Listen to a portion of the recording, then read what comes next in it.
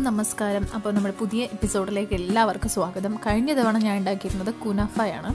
അപ്പോൾ അതിനുള്ള ഡോ ഇവിടെ അവൈലബിൾ അല്ല. അപ്പോൾ നമ്മൾ വീട്ടിലുണ്ടാക്കിയെടുത്തതാണ്. അപ്പോൾ അതിന്റെ റെസിപ്പി നിങ്ങളായിട്ട് ഷെയർ ചെയ്യാമെന്ന് പറഞ്ഞിരുന്നു. അപ്പോൾ അതിന് മുന്നേ എന്റെ ചാനൽ ആദ്യമായിട്ട് കാണുന്നവരുണ്ടെങ്കിൽ സബ്സ്ക്രൈബ് ചെയ്യാൻ മറക്കരുത്. കൂടെ കാണുന്ന ബെൽ ഒന്ന് ക്ലിക്ക് ചെയ്തേക്കാം. അപ്പോൾ നമ്മുടെ ഡോ ഉണ്ടാക്കാൻ വേണ്ടിയിട്ട് നമ്മളൊരു മിക്സിയുടെ ജാറിലേക്ക് ഒരു അര ഗ്ലാസ് കോൺഫ്ലവർ ഇട്ട് കൊടുത്തിട്ടുണ്ട്. കൂടെ ഒരു ഒരു ഗ്ലാസ് മൈദയാണ് ആഡ് ചെയ്ത് കൊടുത്തിരിക്കുന്നത്.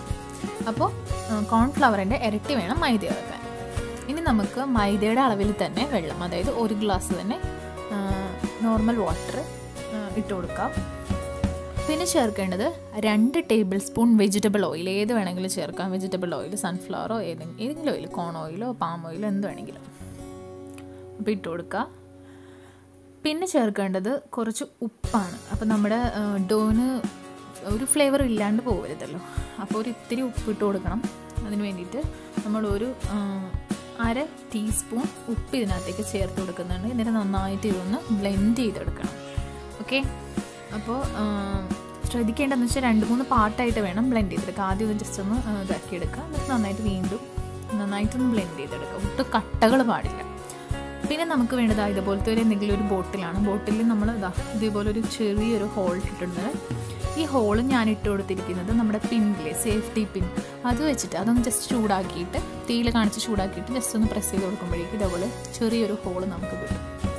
അങ്ങനെ ഇത്രയും ചെറിയൊരു ഹോൾ വെച്ചിട്ട് ഉണ്ടാക്കുമ്പോഴും തന്നെ അത്യാവശ്യം ഇത്തിരി കട്ടിയുള്ള ഒരു ഡോയാണ് കിട്ടിയത് ആക്ച്വലി അപ്പോൾ നമ്മൾ റെഡിമെയ്ഡായിട്ട് കിട്ടുന്ന കുനാഫയുടെ ഡോ പോലെ അത് നല്ല തിന്നായിരിക്കും അത്ര നല്ല തിന്നായിരിക്കും ആ ഒരു ഒരു ഇതിൽ നമുക്ക് ആ ഒരു ഇതിൽ കിട്ടുമെന്ന് എനിക്ക് തോന്നുന്നില്ല.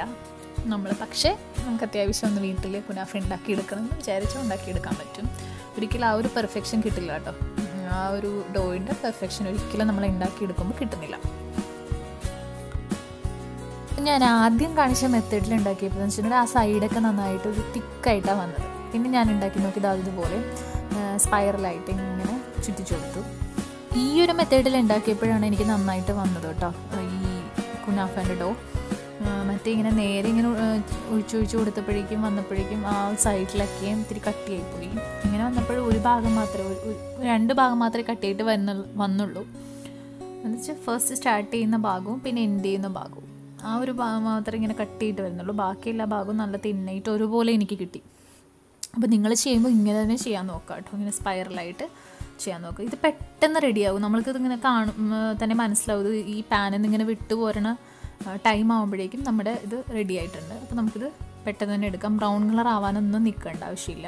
എന്നിട്ട് ഇത് നമ്മളൊരു സിപ്പ് ലോക്ക് കവറിലാക്കി എന്തെങ്കിലും ഒരു പ്ലാസ്റ്റിക് കവറിലാക്കി റാപ്പ് ചെയ്തിട്ട് ഫ്രീസറിൽ വെക്കുക. ഒരു രണ്ടാഴ്ച വരെയൊക്കെ എങ്ങനെയും ചീത്താവാതിരിക്കും.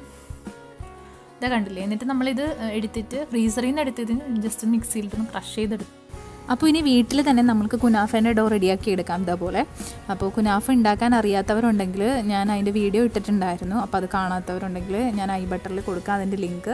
സോ അതൊന്ന് ചെന്ന് കാണാം. ഈ വീഡിയോ ഇഷ്ടമായെങ്കിൽ ലൈക്ക് ചെയ്യാൻ മറക്കരുത്. ഫ്രണ്ട്സൊക്കെ ആയിട്ടൊന്ന് ഷെയർ ചെയ്ത് കൊടുക്കാം. പിന്നെ നമുക്ക് അടുത്ത വീഡിയോയിൽ കാണാം. ബായ്